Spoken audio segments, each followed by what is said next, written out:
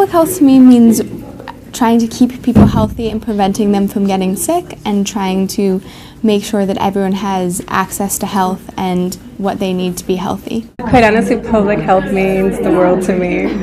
I I have a medical background and I realized that I wouldn't be complete if I didn't see the public health perspective of medicine, which is actually the other side of the coin. A great many things. Um, primarily, it's um, looking at the population as a whole and kind of developing public health initiatives that benefit people, but also, you know, changing social consciousness about what health means. I think I was interested in public health before I knew what public health was. I went to college with this idea that I wanted to work in healthcare, but I wanted to work on healthcare as populations. I was really interested in minority health and why certain groups of people had much poorer health than others and trying to fix that.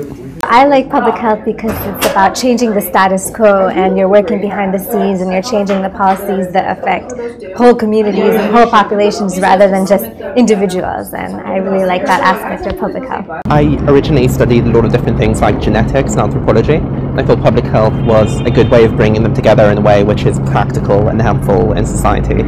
And um, I'm very much interested in aging and aging populations and public health is exactly the place to pursue that kind of thing, really.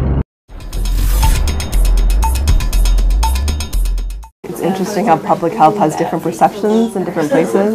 Like here, we're talking a lot about obesity, um, rights of adolescents, um, whereas in, in a place like Brazil, they were talking a lot about um, certain tropical diseases that are still lingering. Um, whereas in a place like China, where I've also spent some time, people are talking about just general what is democracy and human rights and health.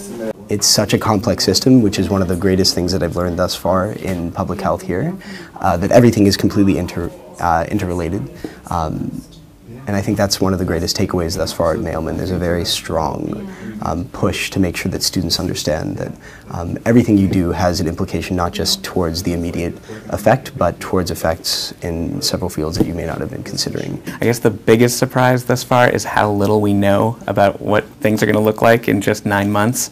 Um, when January 1st, 2014 comes and a lot of the um, Obamacare comes into effect, like we know what's in the bill, but we still don't know a whole lot about what it's going to look like and what's going to need to be changed. And um, it's exciting to know that um, I'll be graduating right around that time, and so there'll be a lot of opportunity and exciting stuff going on.